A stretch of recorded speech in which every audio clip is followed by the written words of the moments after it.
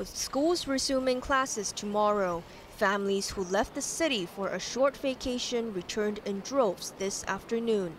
Many who spent Lunar New Year in western Guangdong or Macau returned through the Hong Kong Zhuhai Macau Bridge.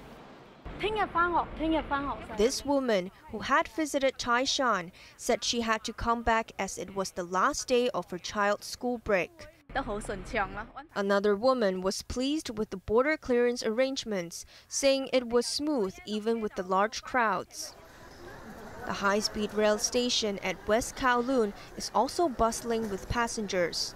The Immigration Department recorded more than 1.4 million inbound visitors during the first eight days of Lunar New Year.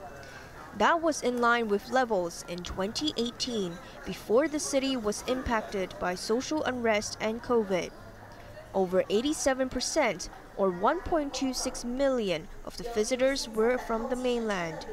Around 157,000 entered the SAR each day, 15% more than last year's National Day Golden Week. Most arrived through the Express Rail Link, followed by the Lo Wu border checkpoint.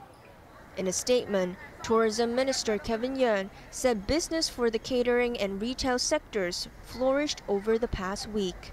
He pledged to organize more major events to elevate the experience for tourists, citing the success of the Lunar New Year parade in Tsim Sha and the fireworks in Victoria Harbour. Rebuking reports that many mainland visitors opted for day trips so as to skimp on accommodation. Yeung said the overall hotel occupancy rate exceeded 80% for the eight day holiday, reaching 90% in the first few days. The Ngong Ping 360 cable car also reported a 25% surge in patronage compared to last year. Maisie Mok, Cable News.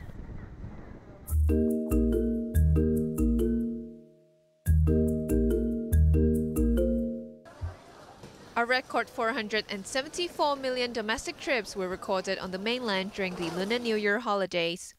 That was a 34.3% jump from the same period last year, commonly known in China as Spring Festival.